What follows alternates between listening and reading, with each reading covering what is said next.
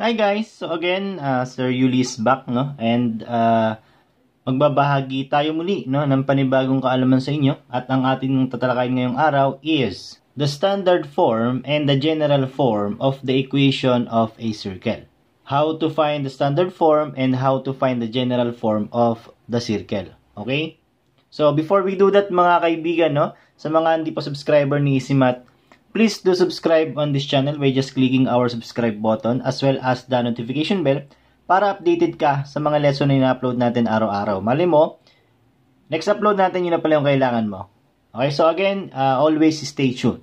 And if you encounter any ads in the beginning, in the middle, or, or at the end of our tutorial, or kahit anumang video sa YouTube, please do not skip those ads kasi malaking tulong yon sa mga creators na tulad ko Saglit lang naman yon, let it finish and then continue the tutorial afterwards. Okay, so without further ado, let us discuss our lesson for today.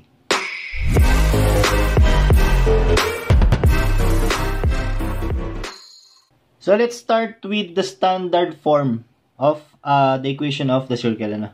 So sulat lang natin mga kaibigan, uh, the standard form. Let me just write it here. Standard form So, hindi na natin lalagay yung circle kasi nga, we are talking about circles here, no? So, standard form, mga kaibigan, alam natin, in a circle, we have a center and a radius, no? That is how we define a circle. A center and a radius. The center of a circle is commonly denoted by C, or point C, uh, with coordinates HK. Okay? And the radius R. So, ito yung uh, mga kailangan natin to form the standard form of the circle, ano? The center and the radius. That is how we define a circle. So, ano ba yung standard form, mga kaibigan? So, bakit? So, it goes like this, ano, mga kaibigan? Parenthesis, x minus h square plus y minus k square equals r square. Right? So, that is our standard form. When the center is located at hk, and have a radius r. Okay? Paano naman kung yung center, mga kaibigan, ay nasa origin? No?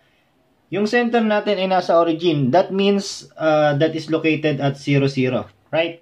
That is the origin. So, simple lang mga kaibigan, uh, papalitan lang natin ng 0, yung h, and then yung k. So, papalitan lang natin ng 0 yung mga yan. Then, uh, let us simplify. So, we have x square plus y square equals r square. Alright? So, lumalabas mga kaibigan, dalawa yung pwede nating standard form. Either the, ridge, uh, the, the center is located at HK or at the origin. No? Uh, if the center is at HK, this is our standard form. Otherwise, kung siya ay nasa origin, ito naman yung kanyang standard form. So before we give the general form of uh, the equation of circle, let us have some examples in standard form. Ano? Let us uh, let us just erase this. So I will give you points and uh, radius.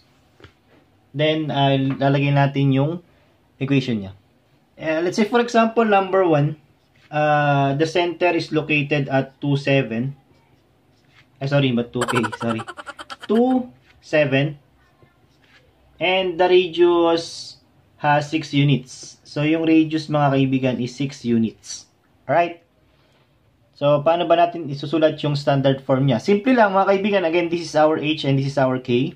So, let us write a uh, parenthesis x minus yung kanyang h which is 2 square plus y minus yung kanyang k is 7 square equals 6 yung kanyang r mga kaibigan. Alright? So, 6 is square. Then, simplify lang natin itong 6 square. So, we have 36. So, the standard form now is x minus 2 square plus y minus uh, 7 square equals 36. Alright? So, you don't need to uh, expand this one kasi nga, siya yung standard form natin. Alright? So, another example, number 2. Let's say the center is located at negative 5, 3, with radius 12 units. Yan. So again, um, substitute lang natin ano, yung h is negative 5. So x minus negative 5. So that will become minus negative 5. Tama? square plus y minus 3. Now, yung kanyang k square equals 12 square. Then, let us simplify mga kaibigan. Negative multiplied by negative, that will become positive. Right? So, this will become plus, no? x plus 5 square plus y minus 3 square equals 144, the square of 12. Okay, so that is the standard form of the equation given this circle or the center and then the radius. So example number 3, what if the center is at the origin? No? Yung center daw mga kaibigan, center is at the origin. So yan yung given sa problem, ano? Origin. And uh, the radius is 5 units. Yan. So again, simple lang, ano? Since nasa origin yan, x squared plus y squared na yan, x squared plus y squared equals 5 square mga kaibigan. Ano ba yung 5 square? That is 25 na ano. So, diniretso na natin ano. Di na natin nilagay yung 5 then parenthesis square. Diniretso na natin which is that is equal to 25. So, this is our final answer for number 3. So, that is the standard form mga kaibigan. Let us proceed naman sa general form. Ganun lang kadali, ano? Yung standard form natin. Uh, basta kabisado mo lang kung ano ba yung itsura ng standard form and how you will uh, substitute, no? Uh, the center and then the radius dun sa equation natin. Okay? So, yung general form naman mga kaibigan, let me just uh, write general form, general general form of equation of the circle. So, ano ba yung tsura nun? It looks like this, mga kaibigan, no? Uh, ax squared plus by squared plus dx plus ey plus f equals 0.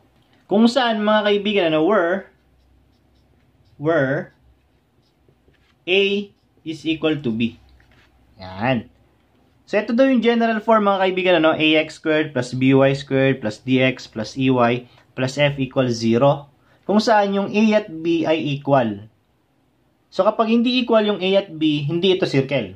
O, yun yung tatandaan natin. And a, b, d, e, f are coefficients. Okay? Numerical coefficients. Ang variables lang natin dyan, yung x and y. x and y, x and y. Alright, yung F constant ito. Yung A, B, D, and E are numerical coefficients. Okay? Paano mga kaibigan kung yung A ay 1?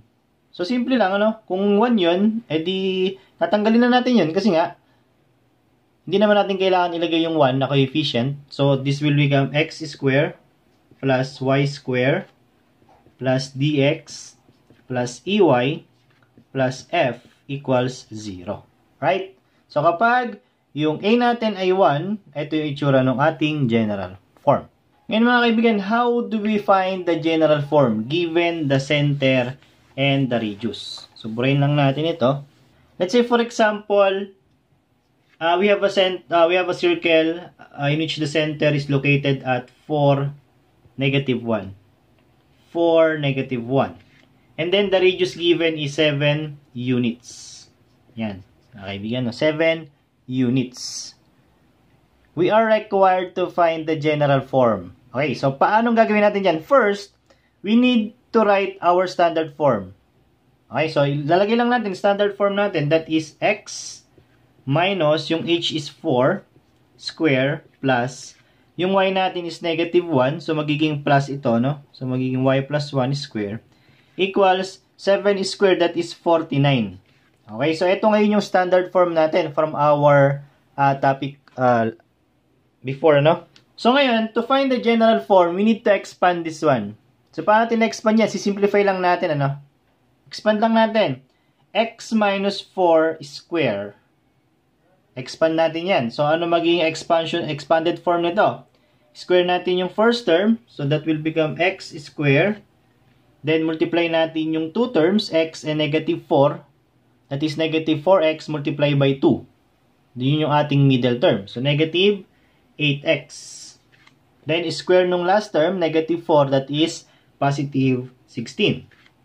Plus, square din natin, eh, expand din natin ito, y plus 1 square. So again, square ng first term, that is y square, y square. Then, uh, product ng dalawa, y and 1, that is y. Then, twice. So, 2y, ano? Plus 2y. Then, square ng last term, which is 1. Equals 49. Alright? So, in general form, lahat ng uh, values ay nasa kaliwa. Then, yung matitira sa kanan ay 0. So, meaning, itatranspose natin yung 49 dito sa left side. Then, combine like terms na natin, ano? So, x square, copyin lang natin yan, x square, tapos copyin lang din natin yung y square, plus y square, then minus 8x, ina-arrange lang natin, ano? Then, plus 2y, then, ito na yung like terms, yung 16, 1, tsaka yung 49, no? So, plus 16 mga kaibigan, plus 1, tapos yung 49, ta-transpose natin from positive, magiging negative. Yan, equals 0. Right, 0 na yung nasa kanan. Let us uh, just combine this one, ano? Copyhin lang natin ito kasi wala na mga like terms dito. So, bababa lang natin yan. That is x square plus y square minus 8x plus 2y. So now, 16 plus 1 is 17. Tama. Minus 49. That is negative 32. Tama, no? Negative 32 equals 0. So, ito na ngayon mga kaibigan yung general form, ano? Simple lang.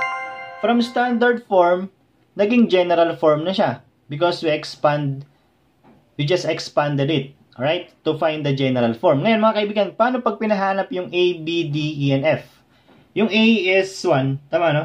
Which is also equal yan sa B, 1. Yung D natin, uh, that is the coefficient of X, which is negative 8. Yung E natin is the, kita niyo pa ba? Yung E natin is the coefficient of Y, which is positive 2. And yung F natin is negative 32, which is the constant, no? Ganyan lang. No, ito na ngayon yung mga coefficients. Then, this is the general form. So that is how we expand or that is how we find the general form of equation of a circle. So I think mga kaibigan, we don't need to give any examples pa, no? Kasi ganun lang din naman eh. To find the general form, uh, just write the standard form and then expand to find, to get the uh, general form. Okay? So ulit, lagay ko lang, this is the standard form, standard form, and this is the general form. Yan. So, ganun lang naman mga kaibigan, paulit-ulit lang kapag binigyan kayo ng center and the radius, ito lang yung process na gawin mo, then you'll find the final answer. Okay, so we, uh, I think that's it for today mga kaibigan. Ano? Uh, if you have any questions, just comment down below or uh, message ka sa ating FB page. Uh, we will try to answer every questions you have. Right? So, without uh, anything else, let's end here. Ano? So, thank you mga kaibigan. Salamat. Um, stay tuned for more. Uh, God bless and mabuhay kayo.